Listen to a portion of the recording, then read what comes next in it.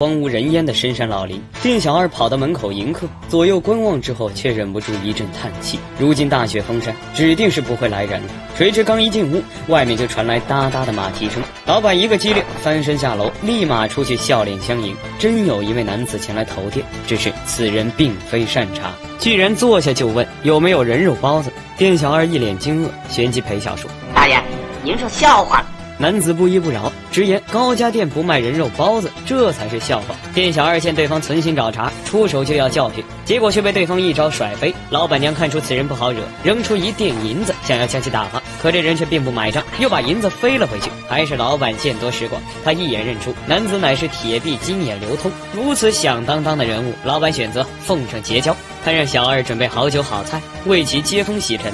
刘通满是得意，这才说出来这里的目的。原来他得到消息，海刚峰海大人辞官归里，今晚会经过这里。流传他携带一箱价值连城的红货：珊瑚、玛瑙、钻石凤、翡翠木瓜、玉芙蓉、珍珠宝塔。盘金龙，还有拳头大小的猫眼石。老板娘两眼放光，立马同意与他合作。三人还在等着大鱼上钩，而半道上就已经有人盯上了海大人。两个匪徒拦住去路，将身穿圣诞衣的海大人赶下了马车，然后就要抢夺宝箱。海大人的两个随从抽刀阻拦，与匪徒斗在一起。正在此时，一个青年侠客悄然出现。他看到两个随从落入下风，立马飞身而下，加入打斗，不出三招就将两个匪徒打得落荒而逃。海大人父女三人上前道谢，双方互相认识。好巧不巧，夹克说跟他们还是顺路。听到顺路，黑袍女子不禁一脸娇羞，显然已经看上了帅哥。黄昏时分，一行人到了黑店，店老板闻声跑到门口，殷勤地将他们迎进店内。当看到随从抬的箱子，老板与刘通相视一笑，心里更加激动。可就在送海大人上楼时，老板瞬间变了脸色。他发现海大人每走一步，都在楼梯上留下一个深深的脚印。老板倒吸一口凉气，此人这么深的内力，绝不可能是一介文官海刚峰。刘通也反应过来，突然想到一人，那那就是江湖第一魔头神鞭鬼王郑寿山。黑店老板大惊失色，随即鬼王也出现，自证身份，话语中满是嘲弄与玩味。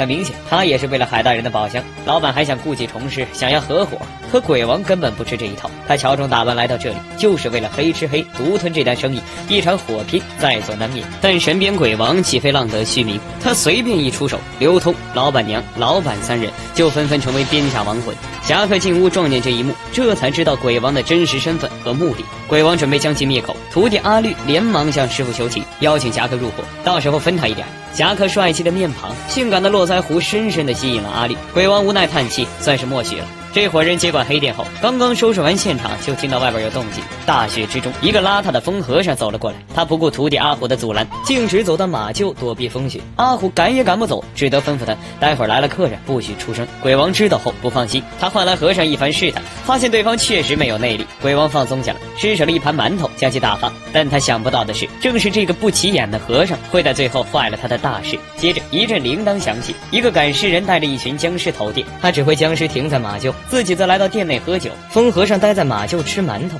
突然间发现有个僵尸在动，和尚玩心大起，起身想要测试一下真假。不过他这方法太过恶心，僵尸实在受不了，转过头冲着他龇牙咧嘴。和尚被吓得不轻，跑到院内是鬼哭狼嚎，成功让这群僵尸穿帮了。原来这群人江湖人称湘西五通鬼，也是为了宝箱而来，打扮成僵尸待在外面，就是想等海大人一到捷足先登。侠客刚刚入伙，表现积极，以一敌五，丝毫不落下风。一番大战之后，湘西五通鬼被尽数歼灭。与此同时，一辆马车赶到客店。下来一个身穿红袍的老人，正是真正的海大人。看见那一地尸体，鬼王解释这群人是强盗，多亏了侠客出手相救。海大人来到屋内，屁股还没坐热，又进来一个白衣女子。女子面无表情，紧握宝剑，径直去了二楼客房。半夜三更，风雪漫天。随着海大人的到来，这个偏僻的客店是越来越热闹。这三个是豹纹三兄弟，江湖人称三头蛇。随后进来的是丰田刀客，最后还有个奇葩的牛角老怪。牛角老怪跟三头蛇还认识，所有人的目的相同，都是为了海大人的宝箱。牛角老怪最先发难，他一个人守住门口，让三头蛇去抢海大人的行李。他的想法虽好，但却没有一夫当关的实力。侠客一个人出手，他都抵挡不住，只能任由众人跑了出去。院子里，多方势力为了马车里的宝箱，纷纷加入打斗，场面霎时混乱。鬼王不再迟疑，终于决定亲自出马。他用神鞭解。解决了牛角老怪，然后又秒杀了疯癫刀客。至于三头蛇，早已在乱战中身亡，大获全胜。鬼王吩咐几个徒弟去杀掉海大人跟女住客，灭口，然后就可以带着宝箱离开了。只是当他们进屋后，却发现留守的徒弟已经被杀，是楼上的女住客干的。鬼王让两个徒弟动手，不料皆非女子一招之地。阿红更是被对方在脸上划了一个特殊记号。鬼王这才认出女子竟然是大名鼎鼎的钟馗娘子。他面露讽刺，提醒鬼王去看看海大人的箱子。鬼王打开箱子一看，这才知知道上当了，里面除了书什么都没有。原来这一切都是钟馗娘子设的一个局，目的便是将这些江湖败类引入黑店，好将他们一网打尽。鬼王恼怒至极，抽出鞭子誓要杀了女侠。徒弟想要上前帮忙，却遭到侠客阻拦。原来侠客竟是卧底，他几招就将阿绿几人制服。但看着阿绿幽怨的眼神，侠客终是不忍心，痛下杀手。鬼王与女侠从屋内打到屋外，鞭来剑往，已进入白热化。但鬼王的神鞭明显占了上风，其攻击距离以及灵活性更具优势，几次都重重的抽在女侠身上。眼看女侠再无力支撑，侠客冲出来营救。不过鬼王神鞭确实厉害，侠客的加入并没有改变局势。但就在这时，